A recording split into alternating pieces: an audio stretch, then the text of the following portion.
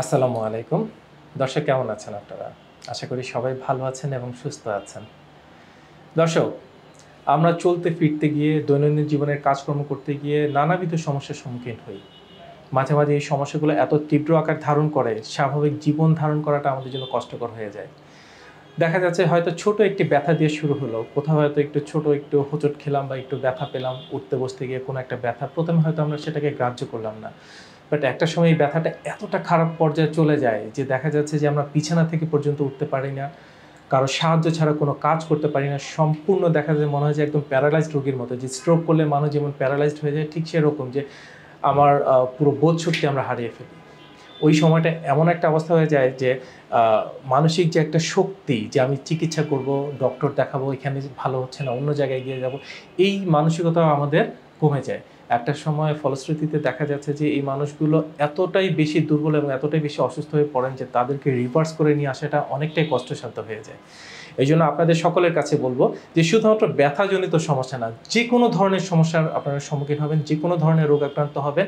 সাথে সাথে অন্তত নিজের মনের জন্য হলেও, যে মনের যে একটা দুশ্চিন্তা সেটা দূর করার জন্য হলেও একজন কনসালটেন্টের সাথে যোগাযোগ করবেন সরাসরি এবং এটা কি আদৌ খারাপের দিকে যাবে না প্রাথমিক চিকিৎসা নিলে ঠিক হয়ে যাবে, সেই চিকিৎসাটা অবশ্যই আপনারা গ্রহণ করবেন।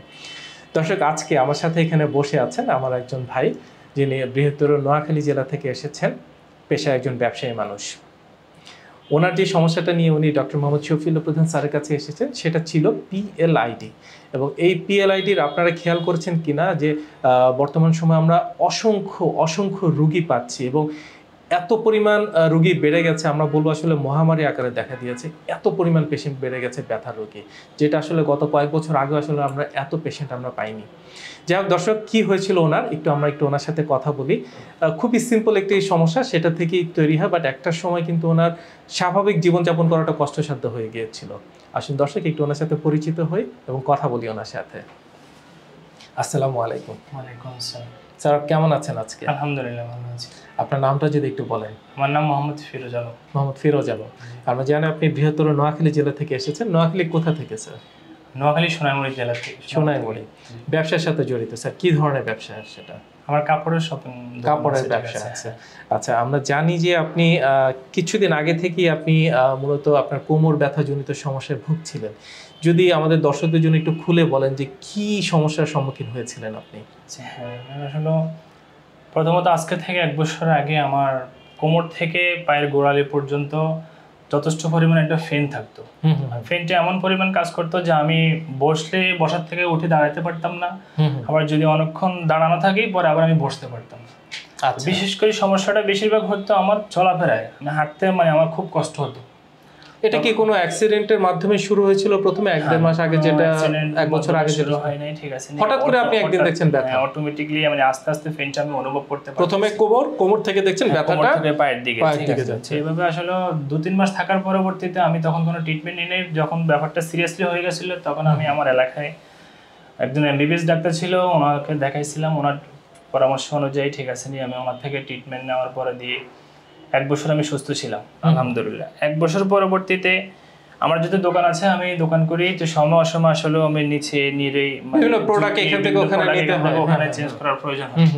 তো সব সময় তো আর এটা মনে থাকে না যে আমার একটা প্রবলেম আছে আমার হ্যাঁ, হ্যাঁ। কেয়ারফুল থাকা পসিবল হয় না। পরে যে আমি নিচে ঝুঁকছিলাম ঝুঁকে একটা কাপড় নিয়ে উপরে যখন আমি উঠতেছি ঠিক ওঠার সময় আমার এই জায়গাটায় মেরুদণ্ড। মেরুদণ্ডে পট করে একটা শব্দ আসলো। শব্দের সাথে আমি একদম পুরো এভাবে ব্যান্ড হয়ে গেছি। তখন আমি এক সুতো পরিমাণও কি? নড়তে ওদিক পারতেছি না। আর আমার অজস্র মানে চোখের পানিতে পুরো সব ভেসে যাচ্ছিল। মানে ব্যথায় ব্যথায়, মানে মনে। মানে আমি যে কাউকে ডাকবো এটাও আমার দ্বারা সম্ভব হচ্ছিল না। এরকম প্রচণ্ড ব্যথা অনুভব করতেছে। তার পরবর্তীতে আমার ফ্যামিলির লোকজন ছিল দু তিনজন মিলে আমাকে ধরে শোয়াইছিল। শোয়ানোর পরবর্তীতে ঠিক আছে না, আমি আসলে ওই শোয়ার মাধ্যমে ছিলাম যথেষ্ট ফেন উপভোগ করছিলাম এক রাত একদিন ছিলাম। পরবর্তীতে আমি নিজের ব্যক্তিগতভাবে থেকে মানে মেরুদণ্ডের সমস্যাটা কি কারণে হয়। এটা জানার জন্য আমি আসলে ইউটিউবে চার্জ করছি। আচ্ছা। করার সাথে সাথে তখন আমি দেখলাম শফুল্লা স্যারের একটা ভিডিও দেখলাম যে উনি এখানে উপস্থাপনা করল মেরুদণ্ডের প্রবলেমটা নিয়ে। তখন আমার মনে হলো যে আসলে যে উনি সমস্যার সমাধান দেওয়া সম্ভব উনি বুঝে এটা ঠিক আছে। তখন আমি আর দেরি না করি কিন্তু তখনই মিনিটের ভিতরে সাথে সাথে এখানে ফোন করছিলাম আচ্ছা। ডিপিআরসি তে ফোন করছিলাম ফোন করে সিরিয়াল দিছিলাম। পরের দিন রাতে আমি চলে ঢাকায় চলে আসেন। ঢাকা চলে আসছি তো আলহামদুলিল্লাহ আসার সাথে আসছি এখানে চারের সাথে কথা বলছি ঠিক আছে নে স্যার আমাকে এমআরআই দিচ্ছে এমআরআই করে রিপোর্ট আনছি রিপোর্ট দেখার পরবর্তীতে স্যার আমাকে এখানে বিশ থেকে পঁচিশ দিন একটা ভর্তি দিছিল। তার ভিতরে আমি আশা করি কমপ্লিট সুস্থ হব স্যার একটা আশা দিছিল। কিন্তু আসলে আমার এখনও পঁচিশ দিন হয়নি। আচ্ছা। আজকে সম্ভবত তেইশ দিন চলতেছে ঠিক আছে নি? কিন্তু আলহামদুলিল্লাহ আমি পুরোপুরি সুস্থ। আর আমি যখন এখানে আসছিলাম তখন এখানে সিসি ক্যামেরা টিভিতে অবশ্য দেখা যাবে।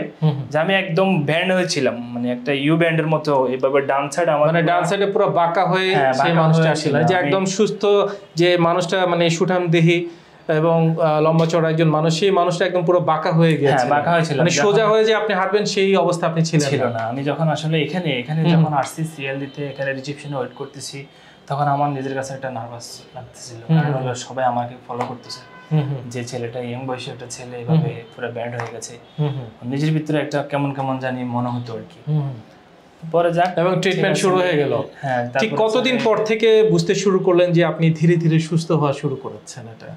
আট থেকে যখন নয় দিন গেছে তখন আমি মোটামুটি বুঝতে শুরু না? শুরু করেছি যে আমি সুস্থতার দিকে আছি। তখন আমি দাঁড়াতে পারতেছি হাঁটতে পারতেছি কারও ভরসার প্রয়োজন হচ্ছে না নিজে নিজে সবকিছু করতে পারতেছি। তো এখন পর্যন্ত মোটামুটি আলহামদুলিল্লাহ আমি পুরো কমপ্লিট আমি স্ট্রিক্টলি যে এখনও দাঁড়াতে পারতেছি। আমার সাথে আপনি কিন্তু সোজা হেঁটে এসেছেন সবকিছু হ্যাঁ, আমি করছেন। সেই প্রচণ্ড ব্যথা। এখন মানে ব্যথা বলতে কোনো জিনিস অনুভব আমার ভিতরে নাই আলহামদুলিল্লাহ। যে আমি এটা অসুস্থ এটা আমার মনে হচ্ছে না আর কি এরকম আর কি মানে কিছুদিন আগ পর্যন্ত যে মানুষটা বাঁকা হয়ে এসেছিলেন হ্যাঁ।